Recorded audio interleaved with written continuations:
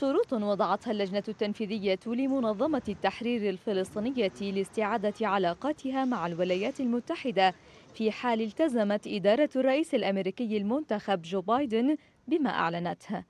اللجنة التنفيذية التي التأمت برئاسة الرئيس محمود عباس أكدت ضرورة قيام إدارة بايدن بإعادة فتح مكتب منظمة التحرير في واشنطن والذي أغلقته إدارة ترامب.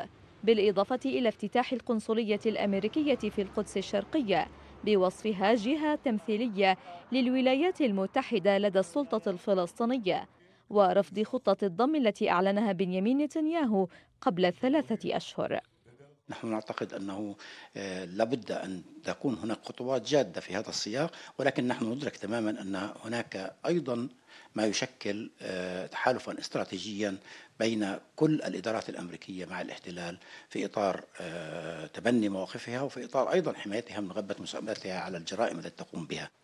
السلطة الفلسطينية كانت قد قطعت اتصالاتها مع إدارة دونالد ترامب أواخر العام 2017 عقب اعترافه بالقدس المحتلة عاصمة لإسرائيل.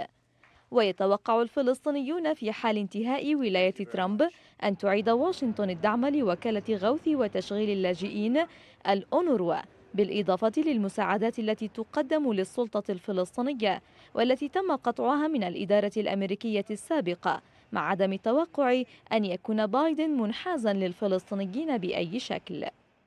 التغير سيكون بالنسبة للإجراءات التي اتخذتها إدارة ترامب في معاقبة الفلسطينيين لكن لن تتغير السياسات الإسرائيلية المنحازة للحكومة الإسرائيلية. المراهنة على واشنطن كما يرى الكثيرون مراهنة خاسرة لإدارات متعددة لم تتخلى يوما عن إسرائيل.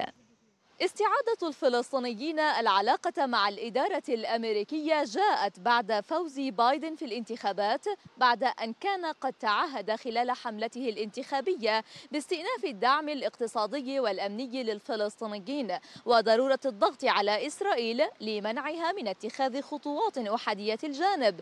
قد تجعل حل الدولتين مستحيلا. نهاية حجازي المملكة. رام الله.